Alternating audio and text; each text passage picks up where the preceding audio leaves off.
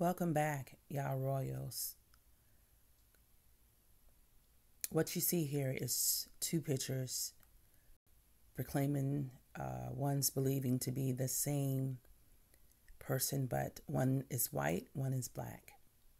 So the question that um, you want to ask yourself is why is the white Jesus false, but the black Jesus is true? When all we did was change his color and his name, but kept the same story, the same scriptures. Okay, so we need to rid ourselves of idols and um, let go of Christianity completely. What you're going to find also um, in this video, the posts, um, I have two different accounts of um, one was I had a dream, and coming out of the dream, I heard the name Josiah. I recall uh, the name being a king, but I didn't understand much about him. So I went to review, and when I did, he was the last righteous king that he had thrown down the false gods, idols of the land, and they started keeping the commandments, the laws and statutes as they should after the book of Moses was found and he saw that he was in error. So he brought forth back all the righteous acts of the land.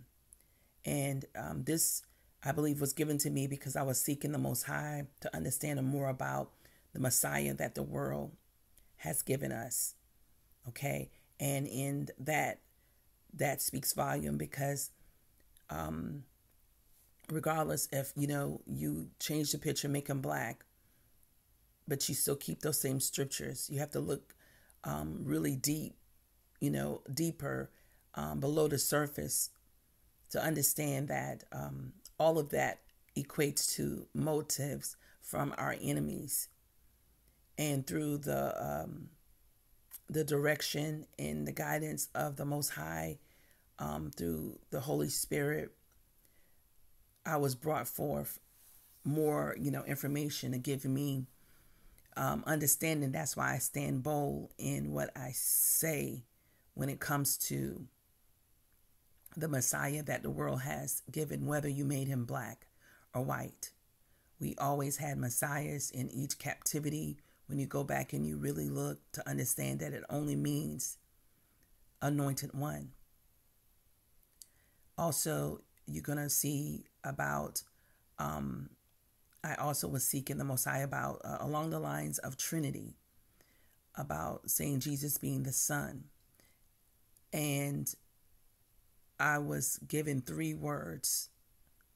Um, one was uh, righteous, another was um, justice, and another was meek. And Father had me look up those words and after each word, the definition, definition, definition, um, he asked if I was that. And then shortly after that, he gave me Deuteronomy 6 and 4, which speaking that he is one. Um, and that after me, like I said, being on a fast, which I had set out to be on the fast seven days, but he gave me the revelation on the second day. Okay. Also, um, this uh, name surfaced within my spiritual realm named Venetta. Um, and I was later go on YouTube. And when I went on YouTube, um, Venetta Fields came up with the um, her song "Only One," and that was more confirmation. So, family, you know, um, you know, not one that I follow a crowd just because. I'm one that, you know, in so many ways a loner, but um, I, you know, want to do what I'm led to do, far as not to be in any um, path or lead way not leading me in the right direction to seek the Most High for myself. And I believe that's what He wants from all of us individually collectively as a nation, that's how we become in so many ways, um, as that is. But so much people are waiting for us to be a nation in that light to say, oh, okay, you all a nation for you to get that relationship. No, it starts now. Wherever you at, you know, just understand that we all should be seeking Yah for ourselves, crying out to Him, understanding His ways, and knowing that, you know, our redemption is near. So, so definitely we should be mindful that um, the main reason why we were dispersed is because we were worshiping other gods, idolizing other gods. We, as the Most High chosen people, must seek for this truth. It's the murky, muddy water. Even though it may appear that everything is what it is, because, you know, we have studied, that's what we believe that is accurate. But everyone who have read the Bible, and even if you consider yourself as scholars, you know that there's contradictions.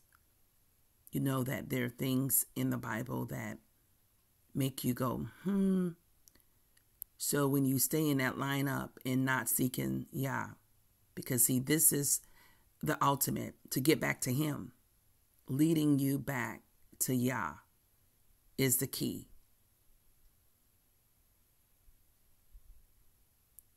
Please understand, it's not that we never had messiahs that were melanated, not saying that we will not have one in this captivity but the one that we are and have been upholding is the one they gave us, which was and is their God.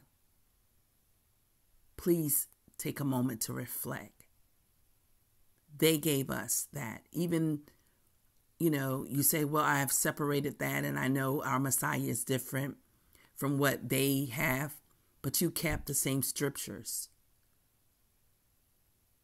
the same motives of the people that enslaved us and took our writings. We so busy looking for and awaiting that storyline that we are not seeking Yah in this storyline to understand what it is. When we woke up, we should have seeked him according to Deuteronomy 6, the 4, I'm sorry, 28 and 64, where he said that we would serve other gods. He said it would be a curse.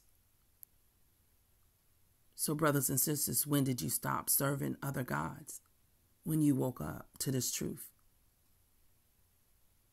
Well, actually, factually, the mass of our people haven't because you still got the same storyline using the same scriptures of what was given to us. So we need to get through the what muddy, murky water to get back to Yah.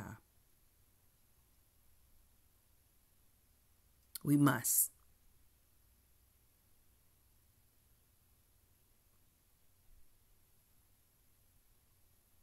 All right, fam. Shalom.